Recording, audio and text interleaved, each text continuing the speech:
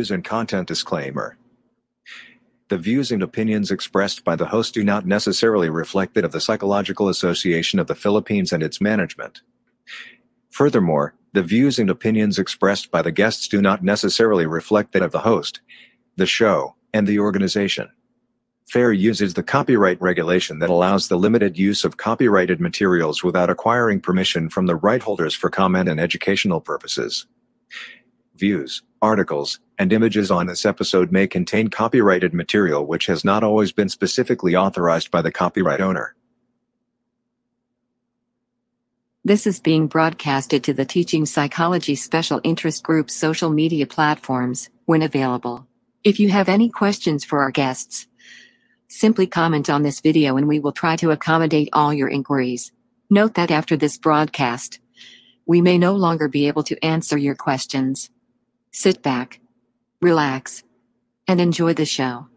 Live from the Philippines, Dr. Ver Reyes and Professor Monique Muyargas, chairperson and co chairperson of the Teaching Psychology SIG.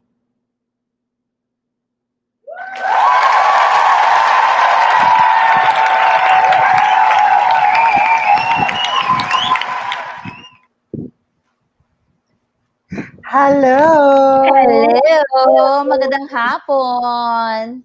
Nawawala pala ako. Okay, hello! Good afternoon! Ayan, ayan. Ayos muna. Nakikita ba ako? Okay, ayan. So, magandang hapon sa inyong lahat. It's a wonderful, ewan ko sa inyo, pero mainit na hapon dito ngayon sa... Super init. Oo. At paiinitin natin yan lalo dahil meron tayong special guest. O, gusto mo yung mga, mga pagaling segue ko, di ba?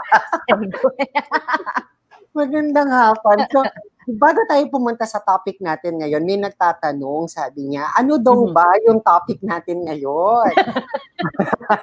Oo. Pero salamat na rin ano, sa pag-join mo sa amin. So, mamaya malalaman natin kung ano yung topics natin. Pero, para malaman nyo yung mga susunod pa nating mga webisodes, please um, like, subscribe, and um, click on the notification bell and follow our social media platforms that are posted below. So, mag-hello lang tayo sa mga friends natin from Marilao, Bulacan, na nagpapa-shoutout. Hindi, hindi naman siya nagpapa-shoutout. Maraming salamat din from Bacoor, Cavite. Hmm, thank you. Meron din tayo from Taguig City University. Right. So, um, uy, meron din tayo from Davao. Yan, hindi ko alam kung Mm. paano i-pronounce yung, pang- yung pangalan niya. Maraming salamat from the University of Makati. Maraming maraming salamat. Um, again, from um, BPSU Bataan. BPSU Bataan. Okay. At yung kapitbahay nyo dyan, Monique from Cebu. Yes, hello. MGCQ. Hello. Stay safe, everyone in Cebu. Hello. Maraming salamat from Makati City kay Eunice Gabriel. Meron din tayo from Mhm. Navotas. Meron din tayo from Bataan Peninsula State University. In fairness, ang dami kayo from Bataan, ha? Ang dami kang fans from Bataan. Madam. Ikaw, maraming fans sa Bataan. maraming maraming salamat din daw. Ah, magandang hapon daw sa lahat ng kasapi at mga hindi pa kasapi ng PSSP. So, I think we're also broadcasted and um, hindi ko alam kung ho- na host ba tawag doon, watch party ah, sa page din ah, Pambansang Samahan sa Psikolohiya PSSP. Oo. So meron na tayong ano ngayon, meron na tayong clue kung, kung sino yung Anong topic ngayon? Oo. Meron din tayo from Malabon City. Malabo. Meron din tayo from Mariveles. Ah, si June, tinawag akong sir, ma'am po din ako para po sa hindi mga nakakaalam. sa mga hindi po nakakaalam. Ah, from Bataan again, from Naga City. Naga! Hello! Ah, meron din from Occidental Mindoro. Wow. Wala masyadong TFC subscribers ngayon. Ano? Kasi Oo, wala masyado. Wala masyado from from China. from China. Dati may ano, di ba? From, from ano ba to? Sydney? Yeah. Yeah. Meron tayo from Malayan Colleges, Laguna, um, and also La Carlota City College in Negros Occidental. Negros. Hello. Neighbors. So, I think yun lang. Ah, meron pa from Malabon, Santa from Santa Cruz. Right? Meron din from Pasig. Uy, from Dumaguete. Doc Marge. Hello. Doc Marge, hello! Nandito ba siya? Bakit hindi siya mag-ano? Yeah. Ayun, from Dumaguete. Ayan, si Doc Marge. Thank you or- for always supporting. Yes, from sino pa ba? Meron pa tayo from South Cotabato, from Uy, Divine. from Puso Rubio, Pangasinan. Puso wow. Rubio. Uy, dito yung ano, Divine Word, dapat dito tayo mag, ano eh, ano tawag dito? Mag, Oo, yeah. mag-perform. Mag, oo. Oo, from Indang Cavite also. Hindi ko na mahanap. From from PUP Taguig. PUP Teka lang po, sandali lang po na overwhelm ako. from Ang dami ang dami. from Taguig City, from Santa Cruz, meron din tayo from Baguio City, syempre from Angeles City. meron din from La Union. Ayan.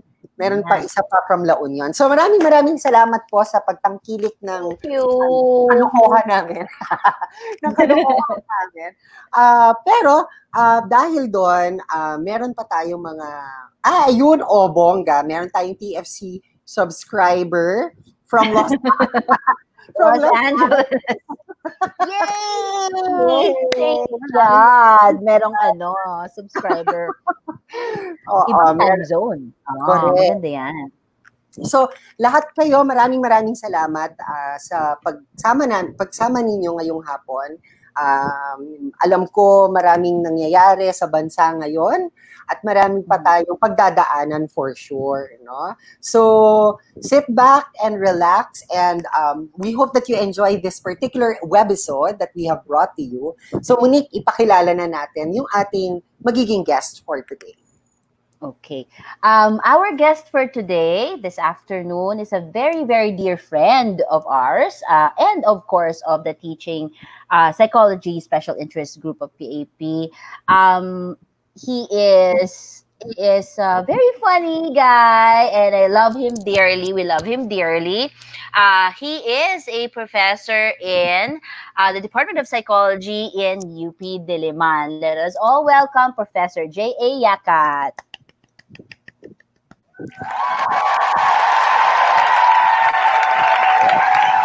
Hello, Ver. Hello, Monique. Hello po sa lahat. Hello. Uh, nag-tune in sa episode na to.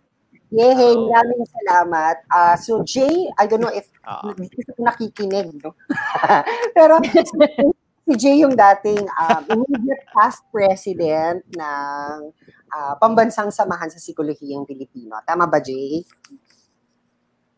Tama, Jay? Ah, ah, ang current president ay si Si, Si Ton Clemente Dr. Ton Clemente. Dr. Ton Clemente. Ayan. So, Yes. shout out kay Oo. Dr. Ton Clemente. Maraming salamat sa pagpapahiram nyo ng dati yung Pangulo sa amin. Correct. usapan. Ah, siguro, Jay, ang maganda para din alam din ng mas nakakarami, ano ba yung pambansang samahan sa psikolohiyang Pilipino? Maybe you can tell us more about okay. the organization. Sige, go Okay. ahead. So, yung PSSP o yung Pambansang Samahan sa Psikolohiyang Pilipino, tinatag siya noong 1975. So, 45 years, tama na ba? 45 years na siya ngayon. Ah, so, yung goal ng organization is to promote Psikolohiyang Pilipino. So, yung magkaroon tayo ng ah, perspective at understanding nat ng mga sarili natin no, bilang mga Pilipino no, based sa ating sariling pag-unawa, sariling konteksto, ah yun. So yun yung goal, no. Ah, at syempre makatulong din sa may, merong explicit na goal na makatulong lalo na sa mga yung tinatawag nating mga isinasa isang tabi o yung mga marginalized na mga Pilipino. So yun yung goal ng PSSP. Mm, Maganda din to Yeah. kasi pag pinag-uusapan natin, di ba, nung un- yung last episode natin nung Monday, our episode is for psychology to be more inclusive. And Mhm. napapansin kasi natin na very Western naman Mhm. talaga yung Mhm. pagtingin natin in terms of psychology. Mm-mm. karamihan ng mga natututunan natin. So to be more inclusive and to be more complete, no, ng kompletong sarikados tayo, dapat pag-usapan din natin ano ba yung psikolohiyang Pilipino. So yun yung ating topic for this afternoon. Sige. So, well, uh, I'll excuse myself habang Yes. share natin yung presentation ni Jay. Monique, baka may question ka kay, kay, kay Sir Jay? Ang question natin kay Sir J is, um, ah, ano ba ang ah, kailangan nating i-change no, sa pag-unawa natin sa psikolohiya? Considering Mm. that generally, our understanding of psychology, kahit nung undergrad tayo, ay mostly um, Western. Mm-mm. So, kung ako ay ba, ah, mag- magiging ah, psychology major, ano kailangan kong malaman or mapagpahalagahan no, about psikolohiyang Pilipino? Ah, siguro hindi lang sa psikolohiyang Pilipino per se, pero in general. At isa ito sa mga sabihin na natin na core idea, no, kapag kunwari ituturo mo yung course, no, isa, isa ito sa mga kunwari ikaw yung teacher, dapat kumbinsido ka rin, no, na yung yung psychology produkto siya ng particular socio-historical contexts, no, at kailangan ah, matanggap mo 'yon, no, para din para makita din natin yung logic no sa likod noong siguro driving force kung bakit pinopromote natin yung psikolohiyang Pilipino. So i- ibibitin muna natin ng konti kasi ah, para siyang core idea natin 'yan, no. Yes, so at yes. ipapaliwanag ko siya so later. Pero yung, yung tama yung sinabi ni Monique no na Mom Monique na parang mayroong kailangan na shift siguro sa perspective, sa pagtingin and to a certain extent ah, yung values din natin no? kapag kunwari magtuturo tayo or kunwari ipopromote natin yung psikolohiyang Pilipino.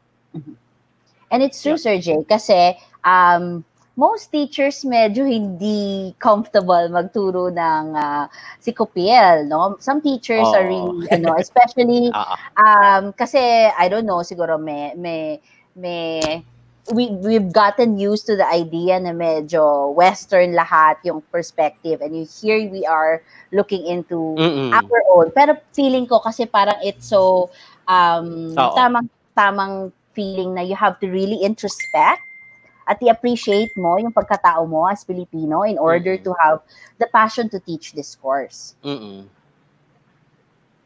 Oo. Kaya nga maganda na itong episode na to sumusunod dun sa ah, previous episode dun sa LGBT side kasi parang in a sense we're in the same boat, 'di ba? Yung parang Mm, true. nasanay tayo na uh, yung isang isang major discussion yung last episode ay nasanay tayo to think of psychology in terms of the experience of uh, straights or mga heterosexuals. Yeah. Yes, no? yes. So ganun din sa atin, no, lalo na yung training natin, uh, mm-hmm. nasanay tayo, na-train tayo to think of psychology uh, or na hindi natin nakikita na yung psychology na natutunan natin, produkto siya ng isang particular socio-historical experience. Yes, yes. So at ito yung mga siguro shift na kailangan natin mm-hmm. tanggapin or gawin no para maging viable para mm-hmm. sa atin yung psikolohiya Pilipino. Mm-hmm. So hopefully this webisode will help our teachers be, you know, convinced and be uh inspired uh, to teach uh, Psychopil in the next semester, uh in the succeeding semesters, given uh, the insights and inputs you're going to share with us this afternoon. So Sir Jay, take it away. Okay. So so for today, yung yung hinanda namin no ay para sigurong overview no na kukunwari or magkaroon tayo ng conceptual handles sa kung paano kaya natin didiskartihan yung pagtuturo ng isang introductory course sa Sikoloyan Pilipino. So for today, yung next slide, please bear. So ito yung parang outline natin. No? So I will explain siguro or con- try to convince people no, why why they need to teach, have to teach, no, Sikoloyan Pilipino, why it matters for us. Then number two, I will introduce uh, eight basic assumptions that underlie an introductory course in Sikoloyan Pilipino. Parang ito yung mga, ano nga ba to? Parang ito na yung pinaka-storya noong course. No? So, kapag kunwari, if you're planning or designing no, to, to run the course, parang kapag na impart mo to sa mga students, good na. No? Parang parang nakuha mo na no kung ano yung essence or idea ng isang course sa Sikoloyan Pilipino no? Ikatlo uh, titingnan natin yung mga core competencies or learning outcomes. Tapos ano yung mga kakabit na mga topics no para mahagip itong mga learning outcomes na to. Ikaapat ano yung sample teaching activities no lalo na ngayon na karamihan sa atin nag-shift to uh, remote or distance learning no? Ano yung mga mga pwedeng gawin no? Uh, lalo na sa isang course sa uh, Sikoloy Sikoloy Pilipino. Yung ikalima medyo na-hit na natin yung ilan dito no? Yung mga issues and concerns no? Ng mga teachers natin uh, sa pagtuturo halimbawa ng Sikoloy Pilipino. And then uh, they will be more than welcome no to ask questions siguro uh, or uh, titingnan natin kung paano natin sasagutin yung mga yon. Yes, okay. Sure. So bakit kailangan ituro yung Sikoloyan Pilipino? So I'm very happy to announce no na noong 2017 finally SHED uh, included Sikoloyan Pilipino as one of the 13 required courses sa undergraduate curriculum. And uh, para sa akin na matagal sumusubaybay no, at matagal din rin nagtuturo ng Sikoloyan Pilipino as a course, malaking victory ito. No? Kasi before, yung mga previous iterations ng curriculum natin, nung una, hindi siya kasama at all. Yung ikalawa, uh, kasama siya as an elective. Tapos ito na yung pinaka, para sa akin, pinaka progressive in a sense, no? dahil uh, kasama na siya, required. No? Although merong option na pwede mag-culture and psychology, but I do think ang laki ng uh, overlaps ng dalawang course. Uh, I would be very happy if both courses will be offered no uh, para sa mas progressive pa at mas inclusive pa na curriculum. Uh, if schools can offer both, maganda sana no na magawa din 'yon. No? So yung yung isa no, it's a CHED requirement no? But for other things no? May iba pang mga reasons no? Kung natutunan natin uh, last episode no? Uh, yung LGBT psych yung yung goal niya is to create a more inclusive psychology. Ganun din para sa Sikoloyan Pilipino no? So if you teach Sikoloyan Filipino if it's part of your curriculum yung message na binibigay natin sa mga students natin sa mga future psychologists that we are creating a more inclusive psychology ibig sabihin uh, gusto natin mapag-usapan hindi lang yung experience ng isang particular na grupo ng mga tao, no? Uh, gusto natin sumali tayo as Filipinos doon sa conversation na yon about psychology, no?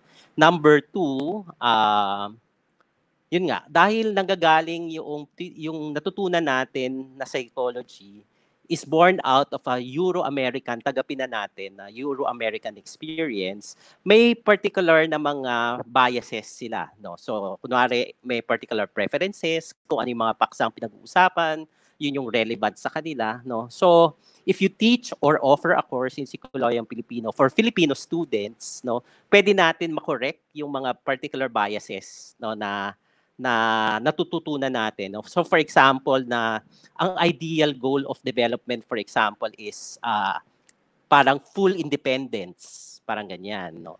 Pero sa sa atin hindi naman 'yun necessarily yung goal natin no sa buhay natin. Baka nga sa atin mas interdependence yung gusto nating mangyari, no. So hindi napapag-usapan 'yon no, sa mga klase natin kasi nga yung psychology natin nagagaling lang sa isang particular socio-historical context. No? At ikatlo, uh, kapag kunwari sumasali tayo sa conversation, no, pwede ma-expand natin yung knowledge base of psychology.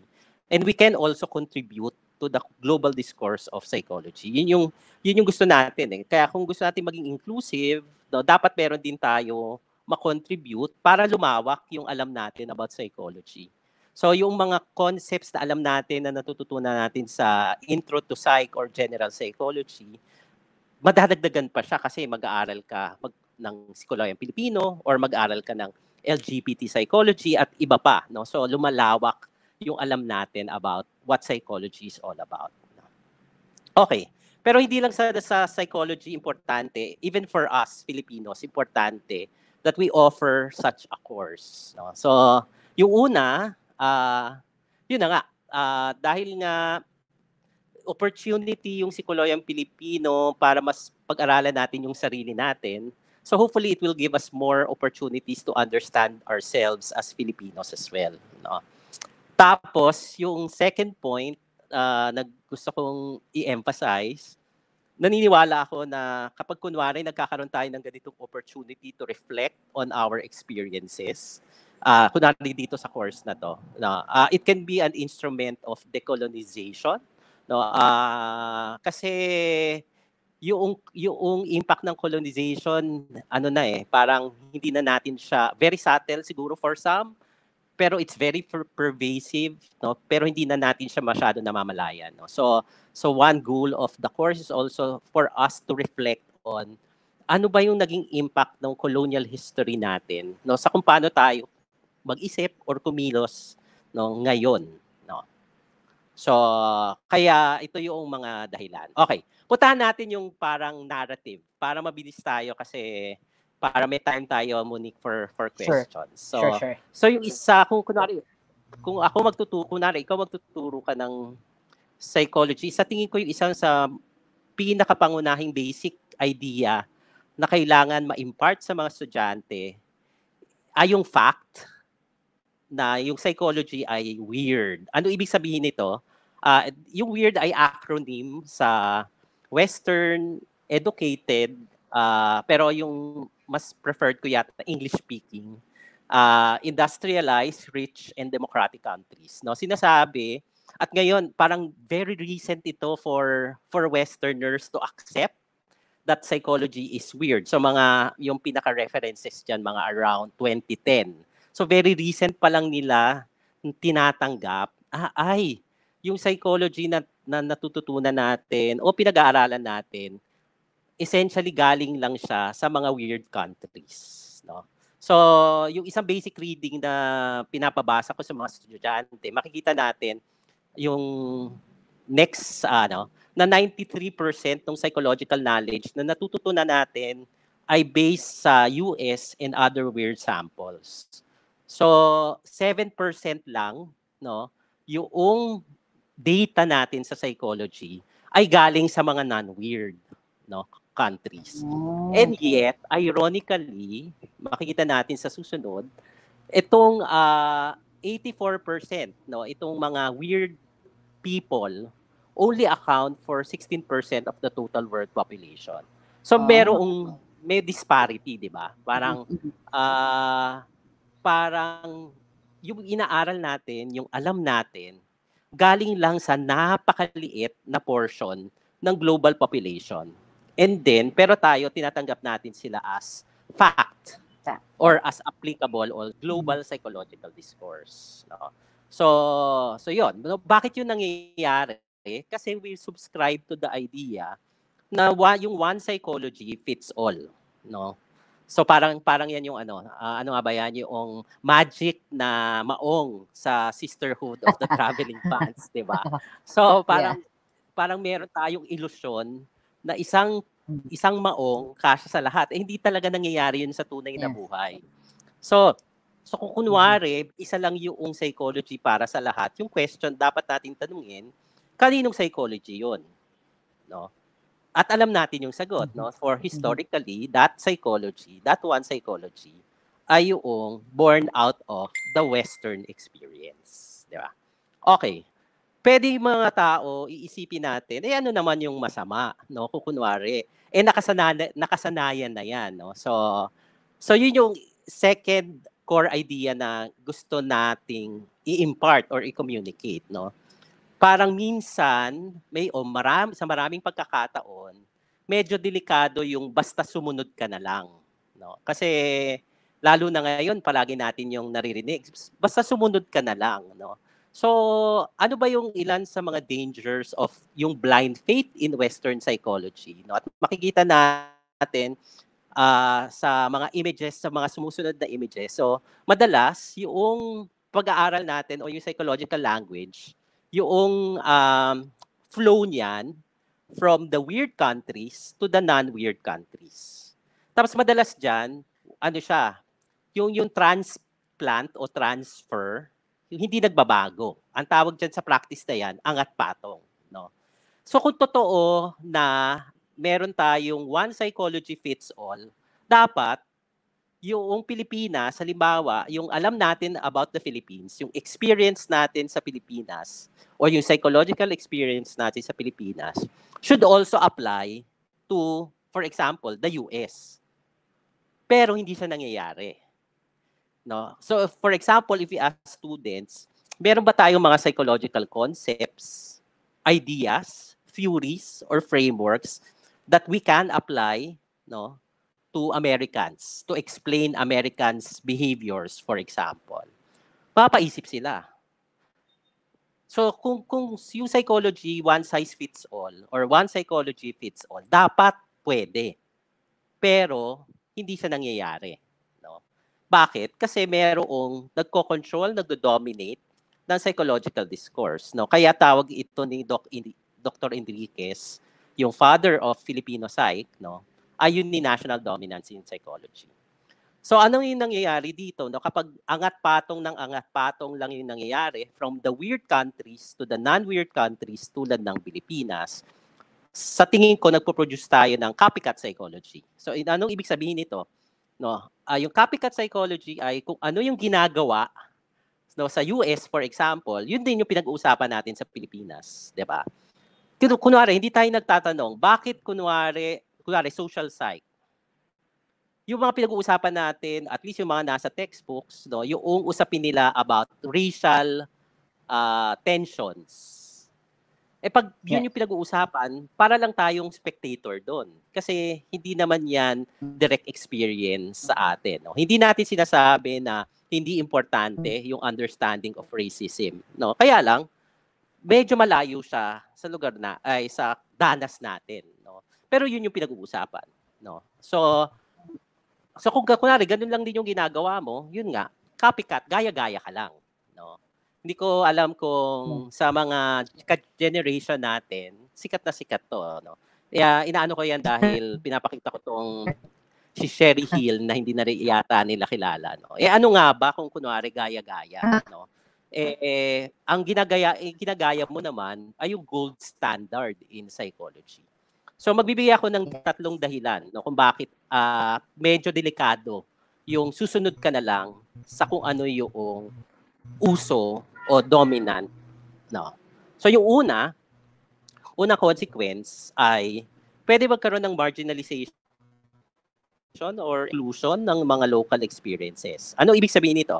Halimbawa, uh, 'di ba sanay tayo pag nag-research uh, tayo, magre-review of lit ka.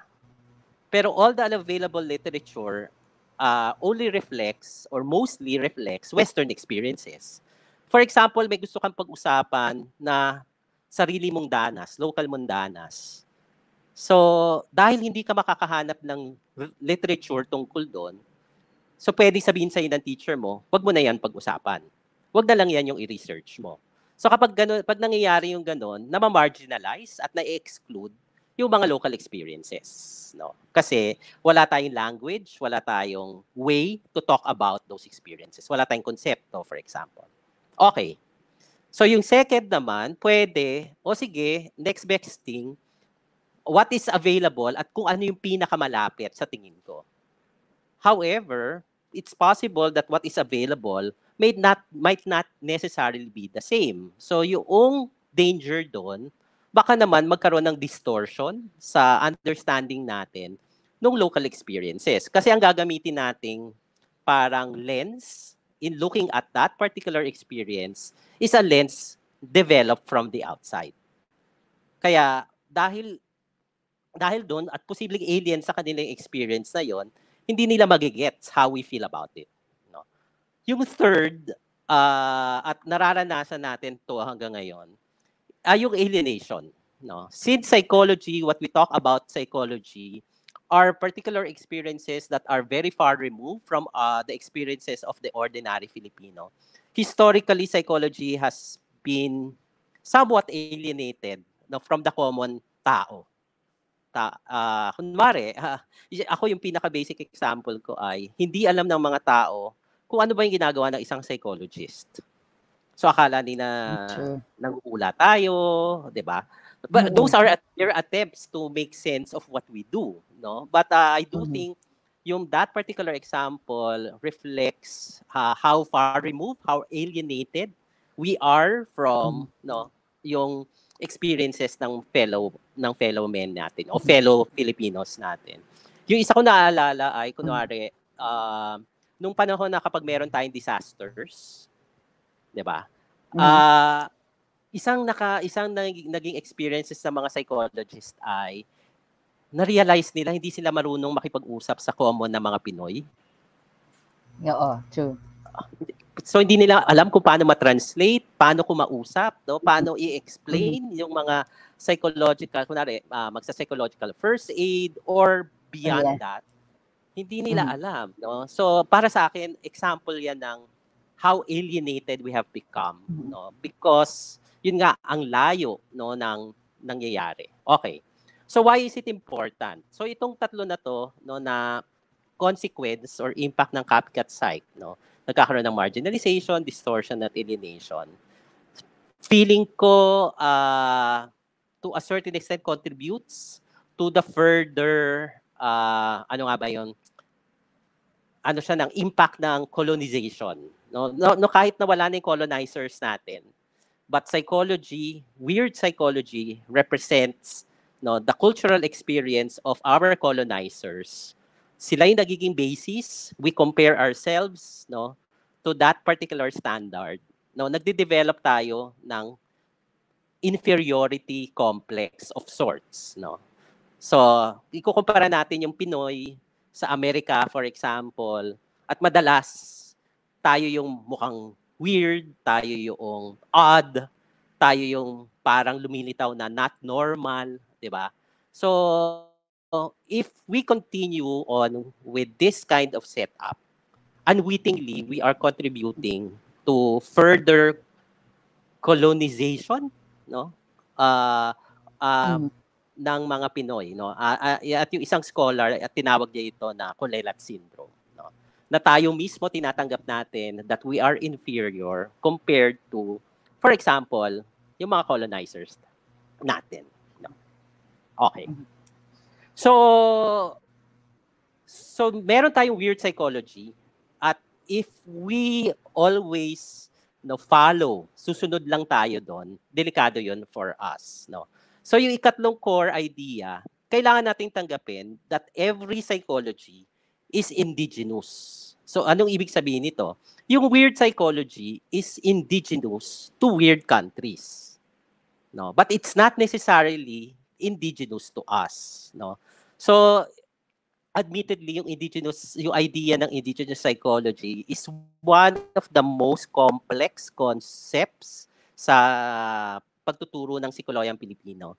Yung paborito kong definition uh, ng indigenous psych ay itong apat na components na to no para masabi ah ito ba ay indigenous psych o hindi no so yung una okay. dapat yung components ng psychology yung elements niya should be have been developed from within the culture mm-hmm. anong ibig mm-hmm. sabihin nito kailangan ba nagsimula sa Pilipinas para maging Sikoloyang Pilipino hindi no uh, so pwede siyang galing sa labas pero binigyan mo parang it took shape it was developed, it was transformed in the culture. Pwede nagkaroon siya ng ibang meaning sa atin. Then that becomes yeah. indigenous. No? Number two, uh, psychology is indigenous if it reflects local behaviors.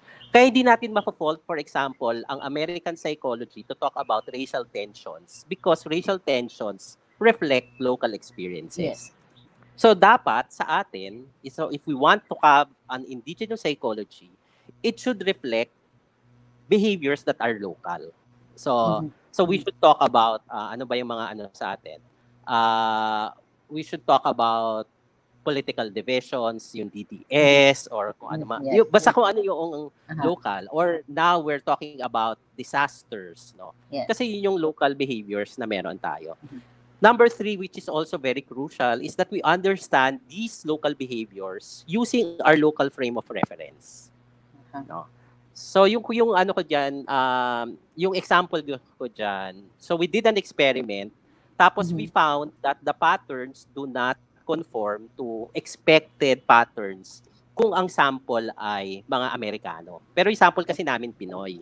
Uh-huh. So we we interpreted uh, the results as uh, baka dahil yung mga tao ang yung, yung setup ay nagaano sila. Meron silang task magkasama mm. silang dalawa. Nung mm. nag-succeed sila, ang sabi ng sabi nila pareho, ah kasi dahil yan sa partner ko. Yung okay. nag-fail sila dahil yan sa akin. Pag yung mga Amerikano yung tinatanong, pag nag-succeed sila dahil sa akin, pag nag-fail dahil sa partner ko. So baliktad. Yeah. Baliktad. So so sinabi ang yung yung yung question namin, hindi kaya ito reflection ng konsepto ng kapwa.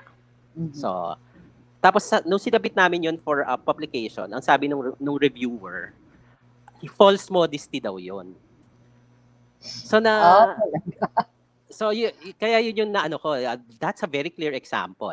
So meron ka local behavior, uh, local pattern, pero yes. merong person would insist instead of using a local frame of reference na kapwa, 'di ba? Uh-huh. Pinili niya i-interpret siya as false modesty na yes. very Western or very Western. foreign. Yes. Oo. So yun yung yung ikatlo. At ikaapat, na dapat yung psychology mo to make it indigenous, it has to be meaningful, no, based on your cultural context at relevant. Ibig sabihin magagamit siya ng mga tao. So so dapat yung psychology natin, natin should produce something that is relevant to the people in your culture, no. So, yan. So so yung ikatlong basic idea na kailangan natin i-impart no, if you're teaching Sikologang Pilipino, na lahat ng psychology indigenous. So yung American psychology is indigenous for Americans. And then therefore, there's a need for us, now if we want a psychology that is meaningful and relevant to Filipinos, to come up with our own psychology na Filipino psychology or Sikologang Pilipino. Okay. Next.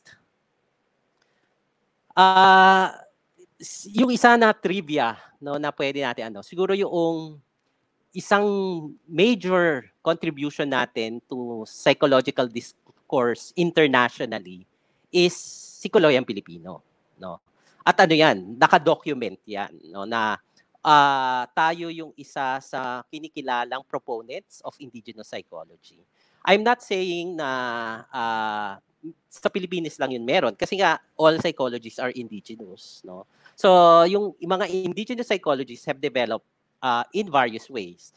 We will not talk about weird psychology at this particular time. Well, we'll talk about uh, psychologists that uh, have been influenced largely by weird psychology. Mm-hmm. No? Mm-hmm. At from there, paano nila diniskartihan yung kani-kanilang mga indigenous psych. No? Karamihan, nagsimula yung starting point ng indigenous psych ay dahil na-recognize ng mga tao uh, na may limitasyon yung Western psychology in providing them answers to local societal issues. No? So Mhm. parang kulang. So hinahanap nila, o oh, kung applicable to sa amin, bakit kulang? Bakit hindi niya nasasagot yung mga dapat niya sagutin? So nag uh, naganap sila, uh, uh, uh, meron bang ibang psychology that could provide us with better answers, no? So yung iba naman, uh, yung susunod, kagaya natin, uh, uh, may mga psychology, indigenous psychologies na either nag-develop as a response to or in pa- or parallel to national and post-colonial movements. No? So halimbawa, uh, yung Pilipinas to a certain extent, um, Latin America and Africa, yung indigenous psychologists na nag-develop sa mga lugar na to is born out of yung struggle nila for their independence no as a, Mhm. as a nation. Kaya merong nationalist uh, flavor yung ilan sa Yeah. mga sa mga indigenous psychologists no. Um I had the opportunity to interact with psychologists no from uh, specifically Africa at sila sinabi Mhm. nila sa amin na nagre-resonate sa kanila yung uh, nababasa nila tungkol sa Sikoloyang Pilipino and I do think it has something to do with a shared history of col- colonization. Okay. This is common, dahil- Sir Jay, across ano po? Common po siya Ah, across all I those think 12 studies. across uh, countries which had a long history of colonization. No? Mhm. So so ito yung mga bansa na ngayon siguro mga in the last 50 years lamang nagkaroon ng independent state or independent nation. Oh, So, interesting, interesting. kasi kasi nga parang yung isang argument nila, halos lahat naman ng mga bansa na colonize in one point of their his, 'di ba, time in, Yeah. in their history. Kaya lang yung Mhm. iba kasi sobrang matagal na 'yan nangyari sa kanila 'yon. So hindi na siya part of their everyday conversation, Mhm. no. So so 'yon. Kaya dahil sa mga context na 'to, ang na, na, makikita din natin, yung indigenous psychology, iba-iba siya sa iba't ibang lugar. So parang yung yung flavor ng indigenous psych, iba-iba. So for example, uh, ma- malakas yung indigenous psych sa Australia at sa New Zealand, pero yung type of indigenous psych nila ay indigenous psych ng mga indigenous peoples. Kunwari, yung mga aborigines na when we talk about IP or indigenous psych sa mga bansa na to, it's about the uh, psychology of yung kanilang mga original na mga settlers. Ay, hindi pala. Mga natives no in Australia and New Zealand. Oo. yung style naman ng indigenous psych sa uh, mga uh, usually mga Asian countries, China, Korea, India, at Iran is closely related to their interpretation of ancient or religious texts. So they will talk about or cite Quran, for example, sa Iran, or they will talk about Confucian philosophy, no, as uh, influencing the way that, uh, kuwari, mga present people, uh, present Koreans, or present na mga uh, uh, Koreans uh, and Chinese, for example, view the world. So, ganyan yung form ng indigenous psych nila. Uh, yung iba na nag-attempt, no, yung kanilang first goal is to search for cultural uniqueness, but uh, personally, I don't think uh, that's a viable agenda or project for an indigenous psych, no.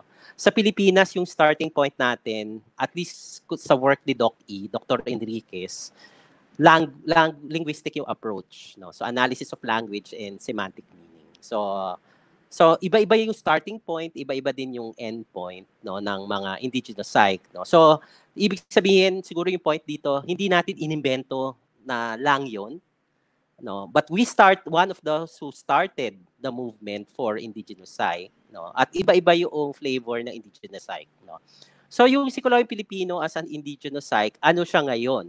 Um, so hindi na lang siya yung naka-base sa work ni Doc E no na tungkol sa language lamang no? So but as a discipline yung yung psikolohiyang Pilipino looks at Filipino culture. Yun yung core na pinag-uusapan no? So everything is related to culture. So tinitingnan mo yung relationship ng culture and psychology. So and that's what you do no as a discipline But also at the same time, it is a movement, no? At feeling ko ano to, re- re- reflection to ng historical basis din ng Sikoloyan Pilipino. Para pero hindi na lang siya nationalist movement, no? Uh, now it has shifted to an advocacy against all forms of oppression, no? Mhm. Ah, kanina tinanong mo ako, Monique, kung ano yung isa sa mga concern no, at kung nari teacher ka, isa kailangan mong tanggapin if you are uh, or if you want to promote Sikulan Filipino or possibly teach it is to accept that um, parang inherent yung political nature noong Sikoloyan Pilipino. No? So so hindi pwede na hindi ka gagawa ng comment or statement no about uh, yung different forms of oppression that you see. You know? Mhm. And uh, this is still related to culture. So yun yung yun yung yun yung isang importante pa rin uh, Mhm. mangyari. So parang Okay. kailangan natin nung i-discover yung ganong inherent value natin. Parang self-reflection.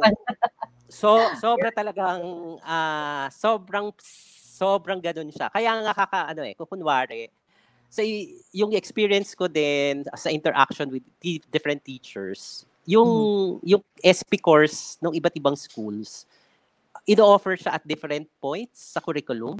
So may iba na after after the intro course, yung iba kapag ah, patapos na yung curriculum, no. So, oo, mga third year, fourth year, yung mga ganyan. So iba-iba din yung reaction ng mga ng mga estudyante. So ah, ako I had a dahil yung sa UP Diliman, kinukuha din siya ng mga public ads. So usually mga seniors na sila. So yung isa na very striking na comment nung isang estudyante ko ay parang bakit ngayon lang namin siya nakuha? Eh fourth year na kami. Parang parang sayang. Sana may Sayang. parang pa, baka nagamit pa namin sa iba naming courses if it was Yes. offered to us earlier. Yung pag yung iba naman dahil sobrang bata pa nila and usually marami sa mga nag-uusapan sa Sikoloyan Pilipino refers to mainstream Yes. psychology. Mhm. Parang ang ang konti pa ng alam nila no, Yes, to oo. meaningfully engage. Oo. Mhm. So y- magiging crucial talaga yung placement niya. Ah, so pero dahil nag K to 12 na, mas mature na yung mga students natin, 'di ba? Yes. So sana, sana. Mas so hopefully hopefully they have better capacity for sa self-reflection whether after siya ng intro to psych or Yes. medyo patapos na ng curriculum nila. Okay. Yes. So yon, no. So so yung isang kailangan pa rin nating ma-realize no yung proseso ng pagiging indigenous o yung pagiging indigenize hindi pa siya tapos no? So ako palagi ko sinasabi sa mga students ko yung Sikoloya Pilipino is a project that is still ongoing no? And we have not yet fully realized uh, yung pagiging indigenous or indigenized ng psychology sa Pilipinas. Uh, at dito siguro maganda i-introduce yung tatlong konsepto na palagi ginagamit ni Dr. Enriquez before, no? Itong psikolohiya sa Pilipinas, no? That would refer to all forms of psychology in the Philippines, no? At dalaw, dalawa siyang may dalawang uri sa ilalim niyan. Yung una, psikolohiya ng mga Pilipino at yung psikolohiya Pilipino, no? So, hindi ito hindi ganito yung definition ni Dr. Enriquez, no? But uh, para lang madugtong natin doon sa previous na pinag-usapan natin, 'di ba, Monique, no? Ano yung psikolohiya ng mga Pilipino at paano siya iba sa psikolohiyang Pilipino? Ah, so sa English, Psychology of Filipinos, Filipino Psych. Parang ang semantically parang ang wala masyadong difference. No? Okay ba? Yeah. so yung psikolohiya ng Pilipino, mga Pilipino coming from En- Enriquez's idea, siya yung produkto ng angat patong o yung weird psychology. Siya yung gaya-gayang psych. No? So kunwari, Freudian ka, adapt, use Freudian perspective to explain Filipinos, you are producing a copycat psychology. No? It's psikolohiya ng mga Pilipino. Okay. Ah, yung psikolohiya Pilipino, kailangan malinaw, produkto siya ng indigenization. So, kailangan merong proseso para na pinagdaanan no para ma-produce mo yung psikolohiya Pilipino. So yung crucial dito is an introduction of what indigenization is. And then we go to the next next slide. Okay. So pag sinabi nating na indigenize or merong indigenization, ito yung proseso ng pagbabago ng psychology to reflect local cultures. So bakit yung copycat psychology walang indigeniz- indigenization? Kasi angat patong siya. Pag sinabi mong angat patong, hindi mo siya pinalitan. Ano yung form niya? Ano yung language niya? For example, it's eh, ano yung isang halimbawa ng angat patong practice? Paggamit mo ng psychological tests in its original form. 'Di ba?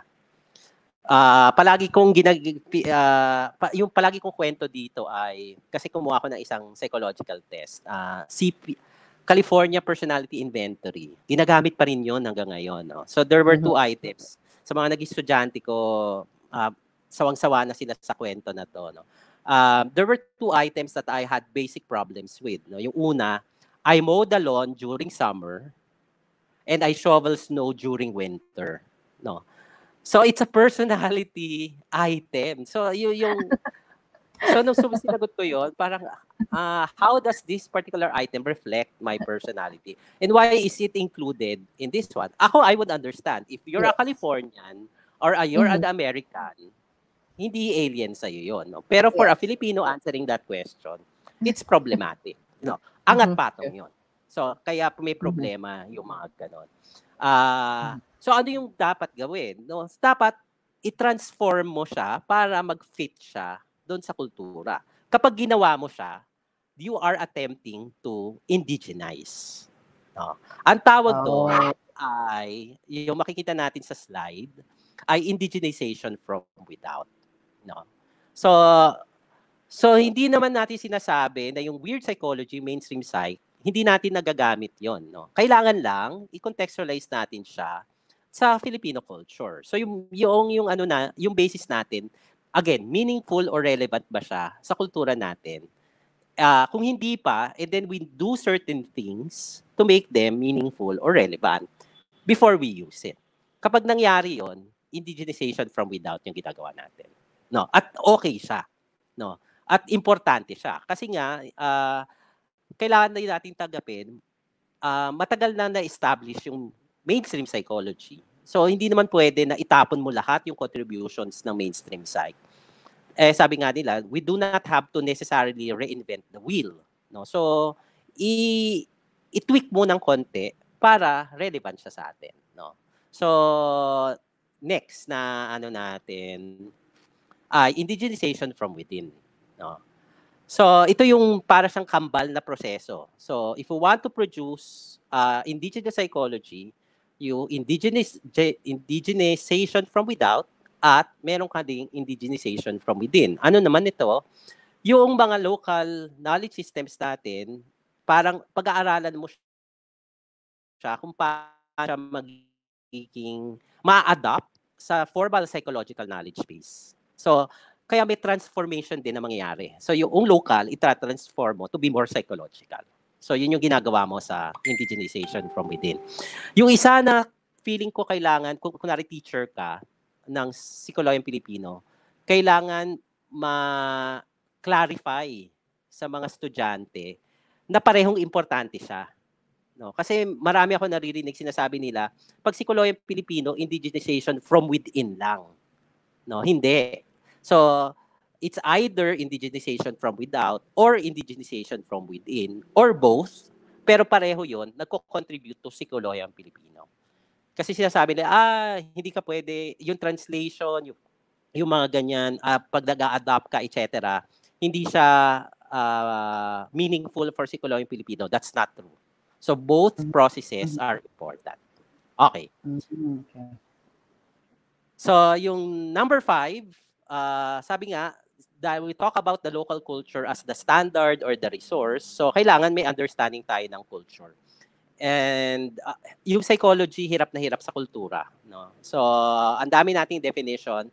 But what I'm, uh, at the moment, no, uh, prefer, is preferring is itong definition na to. Yung ideas that coordinate the action and construct the meanings of a group of people. So, in a sense, parang it's a way of looking at things, no, of uh, making sense of the world that's also part of your culture. Uh, but it could also include things outside of the self or outside of the person, no. So uh, siguro yung next slide will uh, help us uh, navigate that no? So yung yung yung kultura yung lens by which we view the world around us no?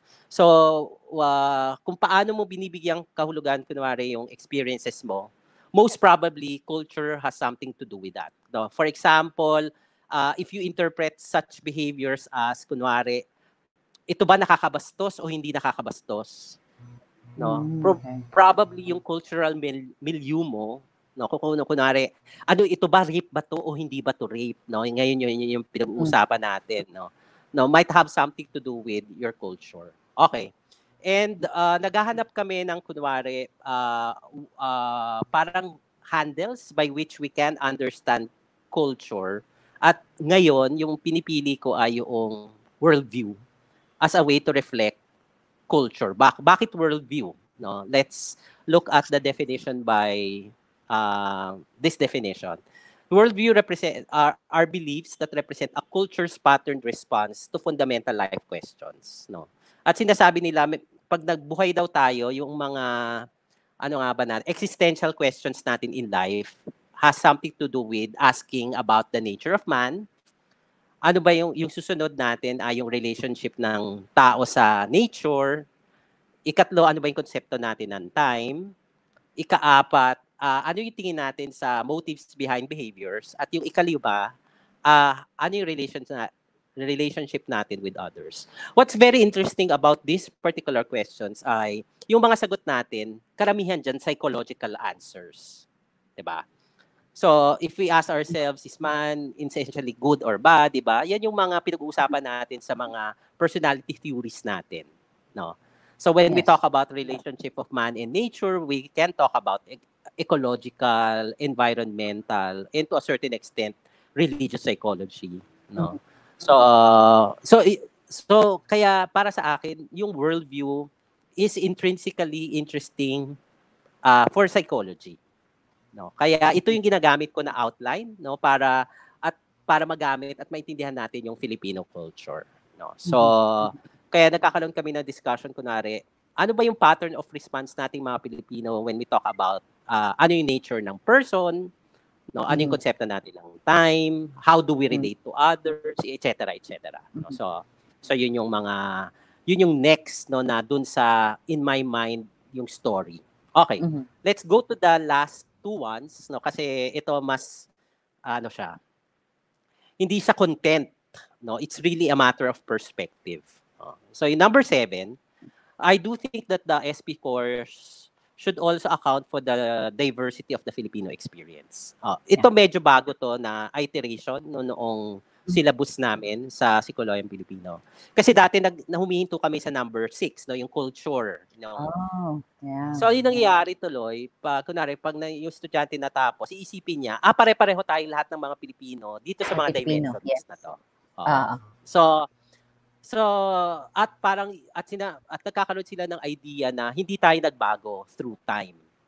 No. So, mm-hmm. eh hindi 'yun yung message na gusto. So, kaya naisip namin uh, importante idagdag ito, no. It is important for the course to emphasize that Filipinos differ in function of being immersed in different cultural contexts. Social class no could serve as cultural context kaya iba yung pagtingin natin sa mundo. Age mm-hmm. or generation gender mm-hmm. no and soji no yung pinag-usapan noong uh, Monday religion ideology no so those are cultural pero imbis na, na ang napoproduce niya pare-pareho tayo pwedeng ma-diversify yung cultural experience natin no mm-hmm. at yung last uh, na ano dahil nga uh, dahil dito sa pagkakaiba-iba ng mga karanasan natin merong iba na, na napiprivilege 'di ba? May iba na mga na na aagrabyado. Yes. Oo. Na ma-marginalize, no? So, parang hindi kompleto yung idea ng uh, sikolayang Pilipino kung kunwari magiging silent ito doon sa ganong usapin, no? So, number eight, it is important for teachers to emphasize yung advocacy nature of Sikoloyang Pilipino as mapagpalayang sikolohiya in, in its emphasis on the welfare of the marginalized sectors. So parang parang parang kunwari may magsasagot, may magtatanong ng mga estudyante, uh, bakit, why are you being too political? No? Yes. Uh, uh, why are you commenting on certain political issues as psychologists? No? Mm. Kasi if you, uh, if you're coming from a perspective of Psikoloyang Pilipino, you cannot, no, uh, You cannot parang stand idly by. Yes, Oo. yes. You cannot not, no, make Yes. your comment or make a political stand, no, because that's the nature of the discipline itself, no, that Knowing the history advocacy. of it, di ba? Knowing the Mm. history of where Sikolo and Filipino came from, it's very political in Oo. nature. So, Mm-hmm. kaya nga nag-resonate yung Psikoloyang Pilipino sa LGBT psych movement, sa feminist psychology. Yeah. ah so, ah, even kunwari sa civil rights movement no sa Mm-hmm. sa US no ah yan yung mga kapatid no kaalyado no ng mga mga mga kilusan kasi yun yung parang shared values na meron so Ah. so we cannot be silent no pag Mhm. sa mga ganito usapan okay kaya ah, hindi ko alam no if teachers find that too intimidating. So yung ilan sa mga feedback na nakukuha ko ay ah pag nagtuturo ako kailangan may alam ako sa history, 'di ba? Ah, or at least may appreciation ako of history, Aha. ah may appreciation ako of politics, 'di ba? Or may appreciation ako of ah minsan we talk about religion, we talk about social Mhm. institutions, yung mga ganyan. Ah, yun din yung isa kasi na kailangan matutunan ng teacher that we have to go beyond the discipline of psychology. Yung favorite Mhm. ko na quote galing kay Dr. Enriquez ay sinasabi niya na parang sobrang importante ng psikoloyang Pilipino para iwan lang sa mga psikolohista. No? So, kaya din yung PSSP uh, as an organization accepts uh, not just psychologists but also people from different backgrounds kasi multidisciplinary yung perspective at yung multidisciplinarity na to is something that I pre-promote and preserve when I design the Mhm. course as well no? So makikita Mhm. nyo I provided a list of references that I I I saw online no? Hindi lahat yun psychologist yung mga nagsulat. Merong mga galing sa history merong galing sa geographer yung iba-iba siya no? Ah, and I do think reflective pa rin siya ng stand no? Ng psikolohiyang Pilipino okay Mhm. so when kung actually makukuha na natin yung parang learning outcomes no from that uh, overview no uh, so Yes. ano ba yung mga ek- parang expected learning outcomes no that uh, the student after going through the course no should be able to recognize na colonial yung nature ng psych sa Pilipinas at yung limitations of weird psychology. Number two, that they should be able to discuss the nature of Psikoloyang Pilipino as an indigenous psych. Number three, that to, uh, they, they should be able to understand how Filipino psyches are shaped by our cultural contexts. Number four, appreciate the diversity of Filipino cultural experiences. And last, no, apply this knowledge to understand the self and other Filipinos better, no. So tama ka Monique no na parang I think sobrang kailangan sa course na to maging very self-reflective ng mga estudyante. And the course should Mhm. provide uh, opportunities for students to reflect, no. More than memorize, uh, kunwari, ano ba yung mga walong antas ng pakikipagkapwa, yung mga ganon. Uh, I would prefer that uh, students no undergo critical self-reflection no uh, mas importante yon no so when we talk about yung mga teaching strategies yun yung ilan sa mga may emphasize no okay Mhm. so how do we transform these um, uh, competencies or outcomes into core units so halos makikita mo na rin naman yung outline no at least for me Mhm. Ah, yung first four is ah, para siyang direct match no ng mga learning outcomes. Tapos Mhm. if you have time, ah, special topics optional.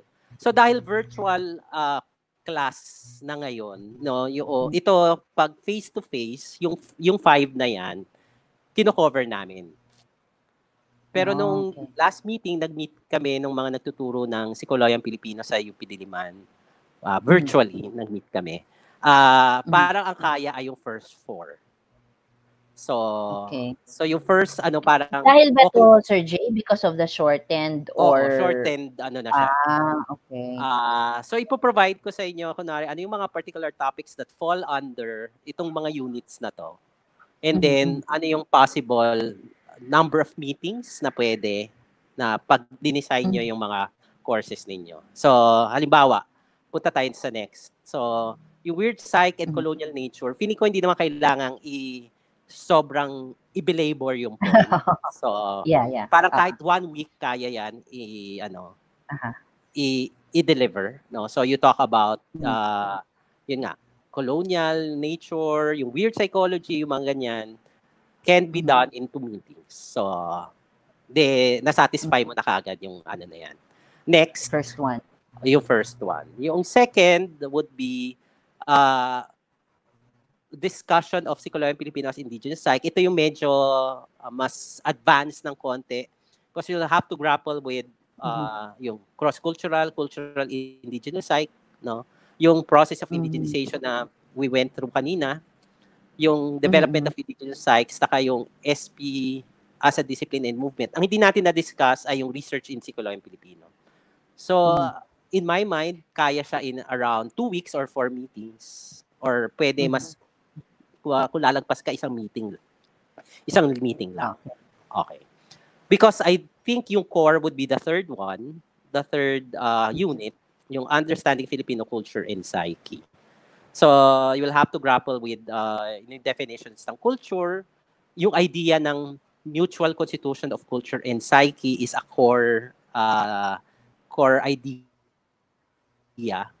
No? Mhm. Then the introduction of worldview. At syempre, ito ng mga components ng Filipino worldview. Uh, in my mind, you could use 10, uh, mga around 10 meetings no, to, to cover this particular uh, section.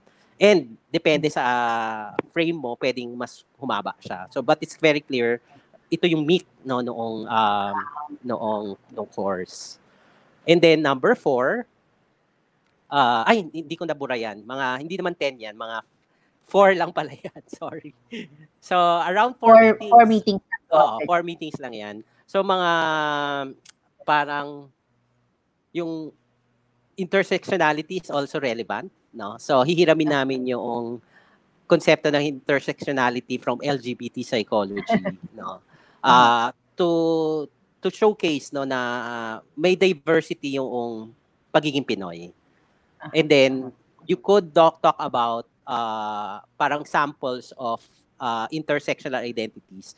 As feeling ko yung pinaka-crucial sa atin ay social class, age and generation.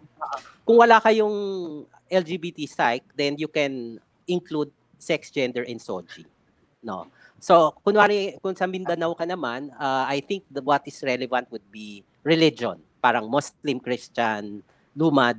No? So, that would be, uh, so ibig sabihin, pwede mo i-customize yan. Or peace psychology, yung peace na concept ng peace Oo. yung mga ah, ganyan. or conflict, yung ganon. Mm-mm. Oo. So, yan, pwede mong, ah, pwede mo siyang i-customize depende dun sa context kung saan na, na umiikot yung mga estudyante. Mhm. And then, yung special topics, pwede nang tanggalin na yon. So, ano yung mga Pero for the interest of, Oh. Sir Jay, for the Mm. interest of those who are ano, curious, um, ano yung usually ini-include sa special topics? Ako, usually kasi dati, ina-emphasize ko yung mga dimensions. So, kunwari, lilitaw dyan yung importansya ng loob-labas sa kakapwa. So, yung strategy Ah, ko, parang, pipili ako ng mga topics that will highlight, expound on loob-labas, kapwa, yung mga ganyan. So, yun yung Okay. isa. Yung, yung iba naman, ah parang ang gamit nila mga topics the interest ng kanilang teacher. So, kunwari, yung ah, mental health. So, magdadagdag sila ng more Ah. topics on mental health. Okay. Yung iba naman, kunwari, ah, Okay. gusto ko in relation to psychological practice. So, so yung mga ano sa board exam, kunwari, counseling, ah, counseling, IO, Aha. yung mga ganyan. No? So, Mhm. pwede nilang gawin yon no? Ah, kung merong time. Pero ngayon nga na wala tayong uh, masyadong oras, yung yung Aha. first four would be the core. Yes. Okay. Ah, okay. So, so nasabi ko nga marami sa mga ano nito reflection discussion, no. So, so meron akong pinapagawa at the start of the class na feeling ko pwede i-translate sa virtual. Ito yung what's in a name na online version. So, ah, ang kaibahan lang ngayon, homework na siya, then parang start pa lang ng klase that they will parang introduce the meaning or stories behind their names. Tapos magki-create ka ng discussion thread. Tapos papa-indicate mo rin sino ano yung pangalan ng parents at grandparents nila, no. Tapos pag nag-meet kayo in class, Ah. no, so gagamitin nila 'yon na ma- dapat may access sila sa lahat. Tapos ihanap lang sila ng pattern. Ah. Ah, Tapos, Oh. y- parang Maraming bakit Maria. Oo. Tapos mako-compare. Oo. Basically, yung discussion point ko niyan that yung naming is cultural and psychological. So, ma- mahat which are basic ideas no ng culture psych mutual constitution. Pangalawa, makikita mo din diyan yung Yes. colonial experience na ah yung tayo ah, ano na ta, global na yung mga pangalan ng mga bata ngayon, pero yung pangalan ng parents nila mas Americanized, pangalan ng mga Yeah. lolo at lola Aha. nila mas Hispanized, no, which reflects our? Cool. colonial experience. So, ah tapos isa pang point diyan, parang that you are names, yung personal names natin, hindi natin pag-aari, reflection siya ng previous generation. Kasi it's their Yeah, aspirations true, true. that are reflected in the Yeah. name. So usually that I start. Mm. Uh, another quest question that I ask, bakit western na bakit 'yon? Bakit westernized Mhm. karamihan ng pangalan natin? No. Mhm. So tapos if you want to advo- yung may mga ibang teachers, they ask their kung bibigay bibinyagan ka uli, ano yung local or indigenous name? Yeah. Yung ibibinyag mo sa sarili mo. So, maraming mga pwede kang gawin well, with this particular This is activity. going to be fun. Oo. Ma- Mas Mm-mm. ma-interesting yung itong activities for students. Ay, et, ah, yung maganda dito, start online. pa lang.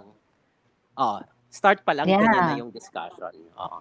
So, yung, yung susunod, ah, ito feeling ko, if you have not done this particular method, uh, this is very good for uh, materials that are very complex.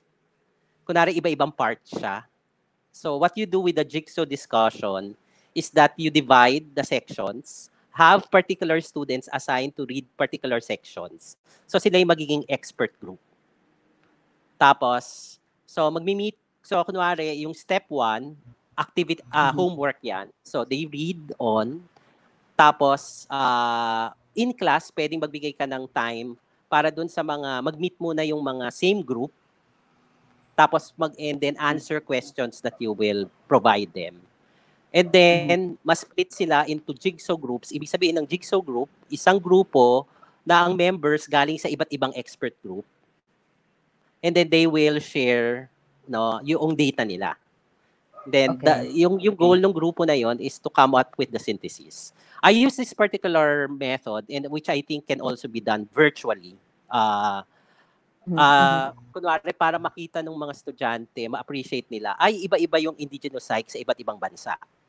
So they read on, mahaba yung article, parang interview siya ng mga indigenous psychologists from different parts of the world, reflecting on how indigenous psychology started. So, tapos namili lang ako ng mga particular countries. Ah, and then, yon ah So magmi-meeting muna kunwari lahat na assigned sa Korea, usap-usap kayo. Ano naintindihan nyo how Korean psychology started, yung mga ganyan. Tapos magkakaroon sila ng different group na represented lahat ng mga groups. No? So ah, tapos yung goal nila is to see the pattern. No? Ano yung at makikita nila ay iba-iba pala no yung development ng indigenous psych. Saan sila pare-pareho sa iba't ibang bansa, saan sila different, no. And it again, as a method, it can be done for other sources, you know, hindi lang dito sa particular uh, activity, no. And I do think it can also be done virtually. Kailangan lang ng uh, preparation on your part and mala- intensive uh, participation ng mga estudyante. Yes, no? yes. yung mga next, ah ito, ito ay fun kasi yung understanding Filipino psyche part, uh, yung culture and psyche part. Uh, so we talk about folklore, no? Uh, so yung ilan sa mga versions nito, ito yung yung ano, parang urban legend. So pwede mm-hmm. sila mag pwede ka magpa-assignment, magpo-post sila ng mga urban legend, tapos they will analyze.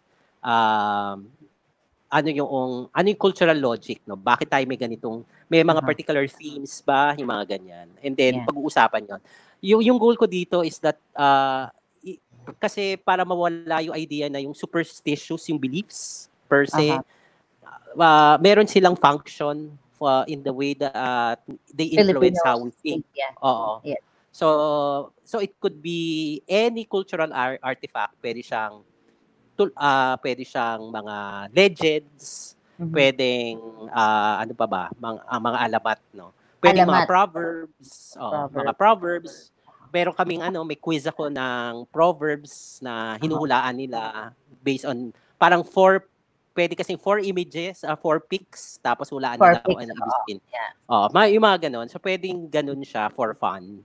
I mm-hmm. think kaya din siya gawin virtual no uh, i-translate siya sa online. Number yung mga susunod mga ano na siya reading intensive yung course. So uh, I think to make it more effective uh, kailangan as teacher tulungan natin yung estudyante uh, ma-digest na maayos kung ano yung gusto natin appreciate ma-appreciate nila doon sa binabasa nila no. Uh, so reading guides will help Um, tapos there's this particular assumption that pag pag nag-meet kayo virtually, uh, nabasa na nila yung mga mga readings. So uh, ang first thing that you need, need to do is to check yung understanding nila of what they've read. So pwede ito para siyang assessment of sorts, pwedeng ma konting number of questions lang uh, mm-hmm. that they can do either before the class or at the start of the class no mm-hmm. uh, ma-check mo lang yung understanding nila noong readings. No? Mm-hmm. Number five, it uh, number five, six, and seven are projects no, that they can ask students no, to do uh, which would apply, kunwari, ano yung mga natutunan nila doon sa course. No? So number one, at ito kailangan, kailangan natin, the creation of online educational materials on Sikoloya Filipino concepts. No? So kunwari ngayon, di ba sa mga online, mga two-minute videos uh, mm-hmm that uh, parang explain a particular concept. Kung magpapagawa yan yeah. sa mga estudyante, ang dami nating, at magkakaroon tayo ng library that yes. will help us as teachers. yes. yung number six at Oo. Number six at number seven, uh, yung six, marami akong mga reflection questions related to selected topics. Yung isang final requirement na pinapagawa ko is they they uh, develop them into collect them into a portfolio. Tapos yun na yung kanilang final project. Or, the others, may yung mga colleagues ko, uh, nagpapagawa sila ng parang social justice or advocacy project, pwede online gawin. Kunwari, ah. again, pwedeng video, pwedeng uh, infographics, yung ganun. Infographic, yung mga ganyan, no. So, those are particular projects that I think good assessment din siya of what they have learned uh, in the course no? So hindi kailangan exam palagi or quizzes no? Uh, uh, yung pinagawa ko sa mga estudyante ko uh, ngayon dahil nagkaroon nga ng pandemic 'di ba?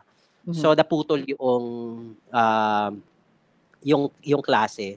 So what I I asked them to do uh, optional gusto, kung gusto mm-hmm. nila madagdagan yung grade nila is I want uh, I asked them to submit four essays uh, na related parang ang hinahanap ko doon ay paano nila sinasagot yung mga questions doon sa mga essays na yon na dapat maki, ma, mapapakita nila yung competencies no? For example uh, na pinag-usapan yung uh, yung mga Pilipino pa sa why so yung basic question ay parang gamit ang psikolohiyang Pilipino paano sasagutin ito no ng isang psikolohista na may background sa psikolohiyang Pilipino no so o kaya yung isang question would be uh, sa panahon ng pandemic ah, magbigay ka ng mga halimbawa ng mga kilos o pag-iisip na consistent o hindi consistent sa pakikipagkapwa-tao.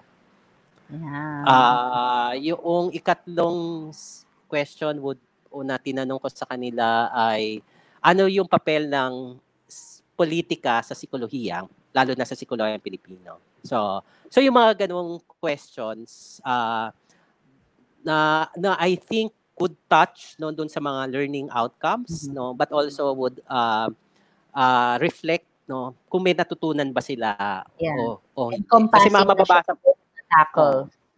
o medyo comprehen parang comprehensive, essay Comprehensive. siya Yeah. Oo. True. Oo. pero I think parang yun nga ma- matatouch on na niya yung mga particular learning outcomes okay ano yung paka issues and concerns palagi when I talk to teachers yung sinasabi nila yung kawalan ng textbook. Uh, Mhm. although personally uh, ako liberating for me na walang textbook. Uh, Yeah. ba bakit? Kasi pwede ko siyang baguhin para palaging up to date no yung reading list. Oo. And uh, yung technology is uh, boon of uh, to a certain extent. Kasi marami nating online resources Google Scholar sobra uh, pag pag uh, alam niyo yung ins and outs ng Google Scholar ang dami niyo pong makahanap ng mga PDF no? Medyo weird nga eh kasi nakakatanggap ako ng mga email may nag-PBM sa akin. Ini-assume yata ng mga tao librarian ako. Ko- na ako yung repository ng mga references. Ang, eh, ang ginagawa ko lang po ginu-Google Scholar ko lang. Yun po yung sikreto Yes. so kapag may tinanong kayo Google Scholar hanap ako ng PDF copy Ah, kung Aha. kunwari ah, hindi naman kayo masyado ano, gamitin niyo po yung Sci-Hub. No. Ah, kasi doon po ako nakakakuha ng mga ah, mga online copies. PJP is now online, 'di ba? And some of Yes. the articles are free access. And personally, please ah, maganda po na gamitin din natin yung mga locally produced na mga publications at research kasi ginawa po yan para sa atin. So, gamitin natin sila sa mga classes natin. Uh, there are other local free access journals, no? So, meron tayong Philippine e-journal, no? Last, lista, uh, repository siya ng mga Mhm. local publications. Some are free access. Tapos Mhm. yung sa PSSP po, yung e-journal namin ay makikita sa pssp.org.ph. No? So, uh, pwede nyo pong tingnan yon. Yung ikalawang concern ng mga teacher ay language of instruction. No? So, Yan. ah, Mal- Totoo yan, Sir Jay. Totoo. Oo. Hindi ko alam kung, ah, kung kunwari, makabagong generation na ba ako ng nagtuturo.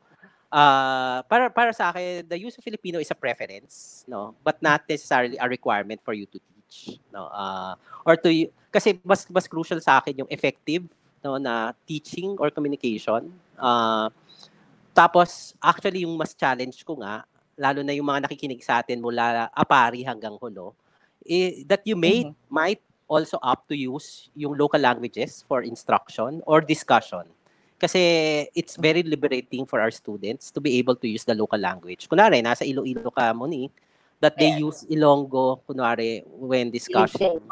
O, or, or a lingua franca na meron kayo doon.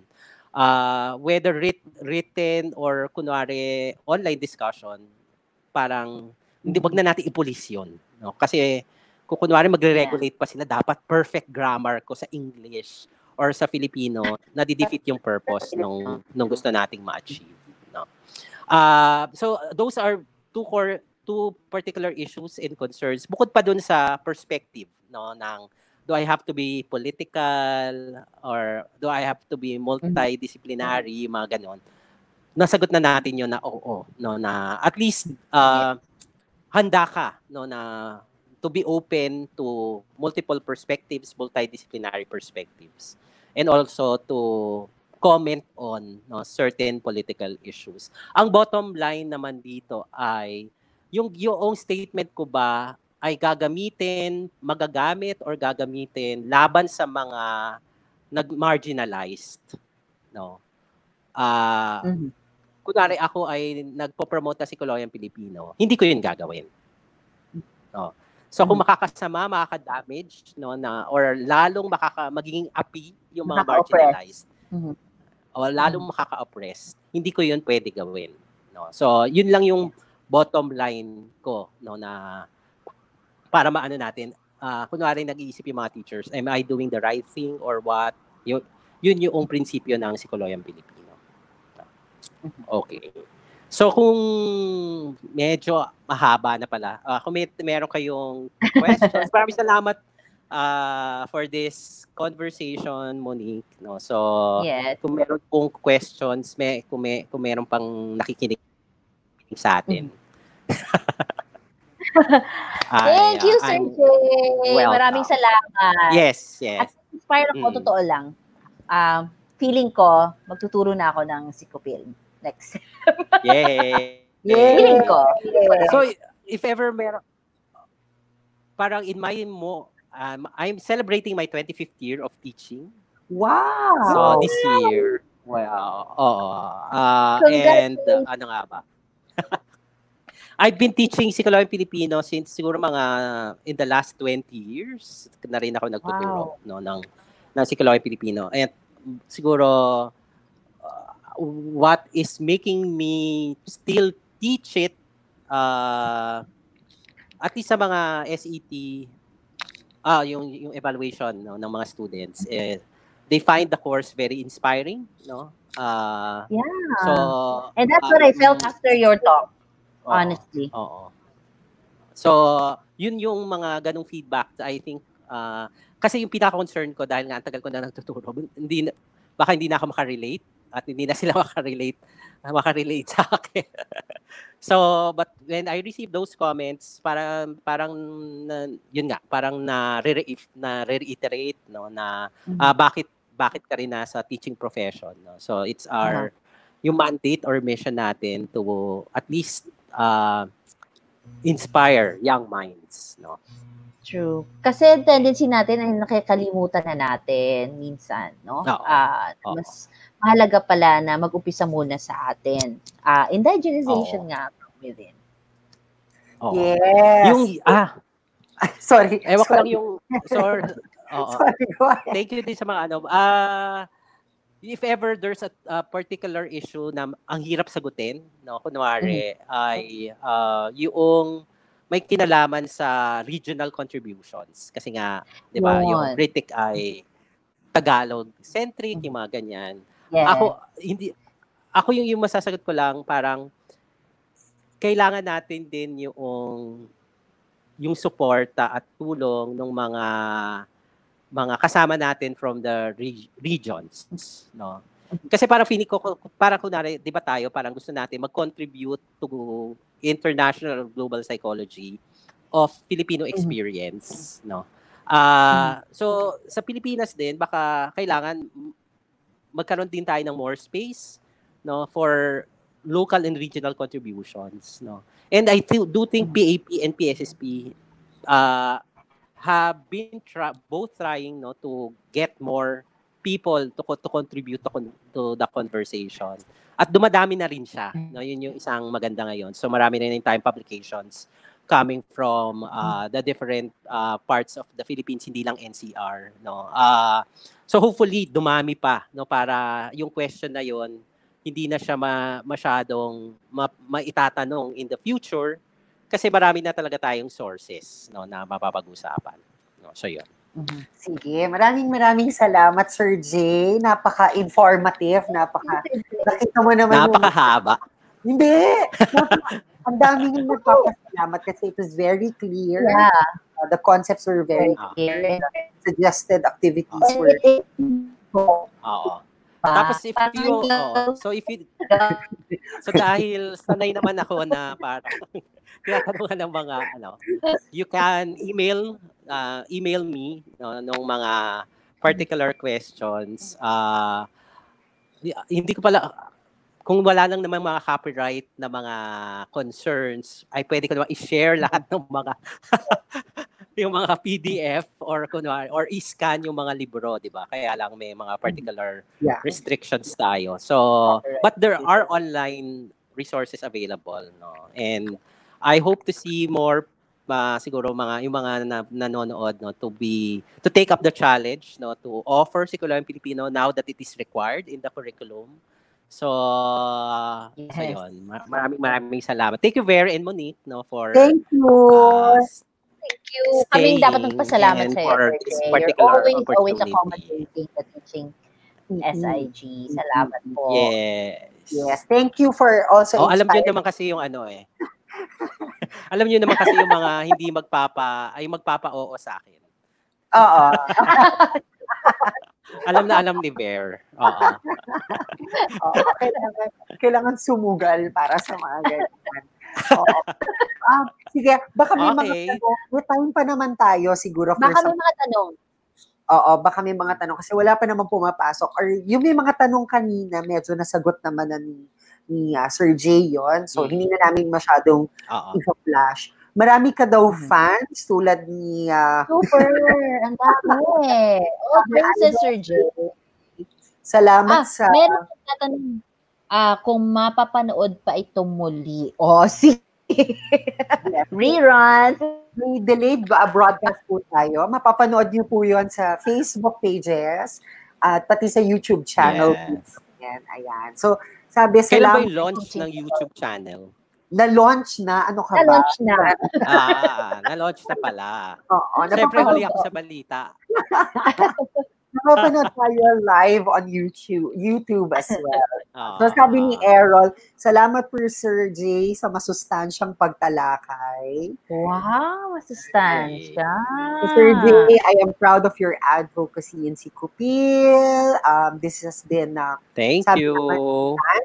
This is indeed an insightful and comprehensive and certainly up for more. So, uh, Hmm. watch out for the for the other siguro um, kasi syempre dahil Yes. quarantine pa rin tayo, um, inaayos din ng, ng PSSP yung kanilang mga schedules, no?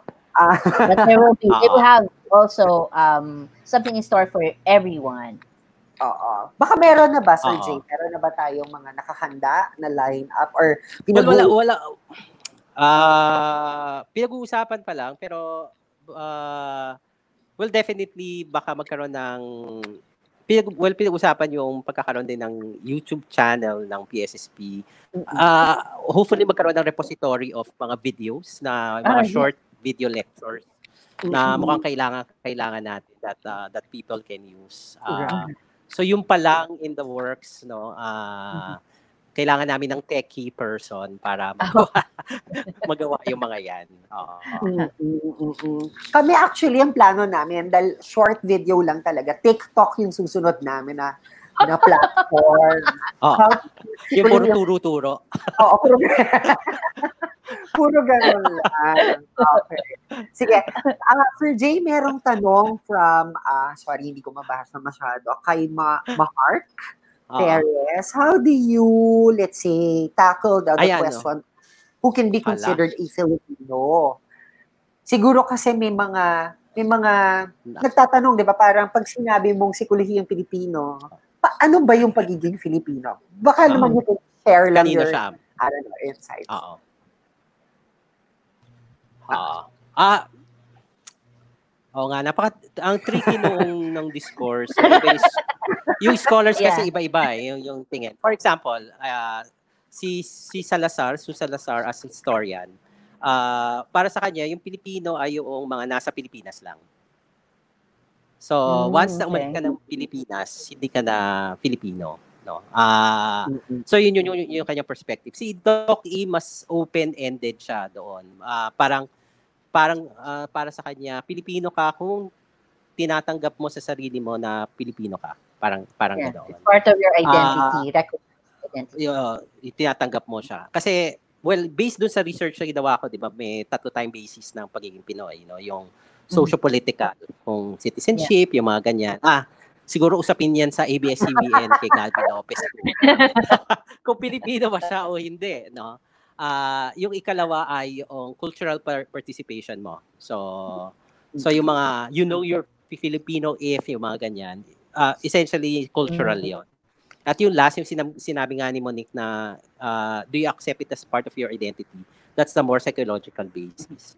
Ah, siguro ang cop out ko ay ah, it could be any of the three. No? Mm-mm. So, or it could be all of the three. Ah, at, at least yun yung Yun yung isa sa parang para kunwari hindi mo ma-satisfy yung more socio-political but uh, you participate and you accept that you're Filipino, pwede kang Pinoy uh, by that definition. Uh, pwede kang socio-political, may, may passport ka, meron kang bumoboto ka, pero Mhm. love mo ang Korea, Korean novela, mga ganyan. Pero pero tanggap mo na Pinoy ka, Pinoy ka pa rin. So so yun yung ako yun yung ano ko. Ah, siguro yung bias, pareho kami ni Monique. Um, if you accept no that you are Filipino, malaking para sa akin malaki yung timbang or weight nun. Siguro maganda din yun i-post na question ng mga ah, teachers, no? Parang, how do you know Oo. the, what Filipinos? It, it would be a good Oo. perspective coming also from the students, no? Na, it could be a point of discussion. No? Ano ba yung naging Oo. isip? And analyze that. Ano ba, paano ba natin dinedefine? Do we define it based on what we read? What is a Filipino? Is it an experiential? Oo. At yung maganda nga dito, ah, dahil ang dami natin pwede hugu- hugutan, kasi nga yung current events, pwede natin pag-usapan yun. No, ah, so hindi lang kailangan parang mas ma, mas stuck tayo dun sa kung ano yung nasa literature. No? So ang ang dami natin pwede mapag-usapan. Tapos nasa teacher na lang yung diskarte, paano siya maikakabit dun sa lesson. Parang, Right, right. Okay. Another- Sir Jay, pwede makisingit ako ng tanong. Kasi Ako. I, I'm, I'm Okay. sure um, um, yung mga hindi taga-NCR ay makakapag-relate nito dito. Um, meron kaming sense, well, I, I'm not saying lahat kami, no? But there's a sense of Mm. insecurity sometimes um, in teaching si Kiloyang Pilipino by the mere fact that it's uh, Manila-centric or NCR-centric Or Luzon-centric. Luzon-centric kahit yung terms Mm-mm. no um concepts na na pinapag na tinuturo um na sometimes wala siyang equivalent or iba yung Mm, equivalent hindi siya direct equivalent nung original Mm-mm. term ah, sa Filipino ano ho ba yun? Paano- how do we overcome that insecurity um Mm-mm. I, I would like to call it as an insecurity kasi masyado siyang um ah, Mm-mm. risk discomfort. para sa amin. Yeah, discomfort. May proven Oo, siya oo. ah, effect. Ganon. Mm-mm. Para ano siya, yung parallel niyan ay um, on a larger scale, yung Philip, kunwari, parang paano ko magdi-discuss ng psikolohiyang Pilipino versus weird psychology o mainstream psych. 'Di ba? Para parang ganoon din siya eh, yung ah, mag kailangan ba maghahanap ako ng equivalent no na term sa Filipino for an American or English na concept. So in the same vein, parang kung kunwari nga Tagalog siya, kailangan ba maghanap ako ng ah, Ilo- Ilonggo counterpart or what? Ah, ako yung yung mas minsan posible na masyado tayo na stuck dun sa label. Um, So parang but not the essence. Dapat yung Oo, essence. a- ako yung kunwari, parang y- ito bang ibig sabihin nito ay pinag-uusapan din ba? Meaningful din ba siya no to talk about? So I did y- kunwari yung research ko on pakikipagkapwa tao, no. Hindi nila ginagamit yung term na pakikipagkapwa tao Tao. as a value. No. Pero yung y- the meanings are not alien.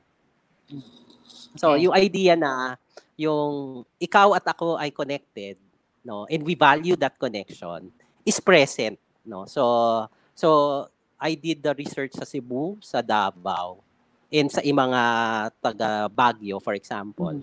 They agree that the meaning, no, behind the label ay hindi para siyang meaningful siya at relevant siya. Mm-mm. So, so yun yung ah, hindi ko alam kung kunwari parang komportable yung yung yung mga mga colleagues natin no from different regions no yung pa na, na, na ganoon siya. Kasi minsan nga minsan yung labels themselves na, nagiging prohibitive or Yeah, prohibiting. restrictive, yeah. Oo. So, ah, kaya, kaya, I, I do remember before, meron kaming exercise sa SP class, no, dun sa professor ko. Ah, nung panahon na marami pang mga galing probinsya sa UP Diliman sa psych na ngayon niya hindi na. So, parang inano niya kami parang ano yung mga equivalent terms? Or or or do you use tho- these particular terms from the regions that you come from? And we were able to parang plot in at least similar no na mga mga meanings no noong mga some of the significant concepts. So may meron naman Yes. So yung isa din na pwede edi ah, ako if you uh, uh, parang parang chal- if you want to challenge yourself edi hanap ka ng local source and then talk about those particular materials no? Mhm. kasi ah kunwari ah, kaya nga yung yung gusto kong pagtuunan ng pansin yung dimension. So kunwari ah yung isa ay relate how we relate with others. So it doesn't have to be pakikipagkapwa lang. So it could be different things di ba So, pwede naman siya na horizontal relationships. So, kunwari, a relationship among equals. Meron bang, meron bang ganong mga discussion? Okay. And the other is relationship between unequals. So, kaya we talk about power, power relationships. So, it doesn't have to be these particular constructs. So, pe, kung if if that's meaningful discussion, yun yung pag-usapan ninyo. Okay. Okay. Thank you, Sir Jay. Thank you, Sir Jay. That's all the time. Thank you. Thank you, Bear. Maraming Thank you, maraming Monique. Thank you. Oo. Yehey! Maraming salamat sa uh, mabuhay ang teaching side. Maraming salamat. SIG. Yes. Um, Buhay ang PSSP. Mario buhay ang Yes. PSSP.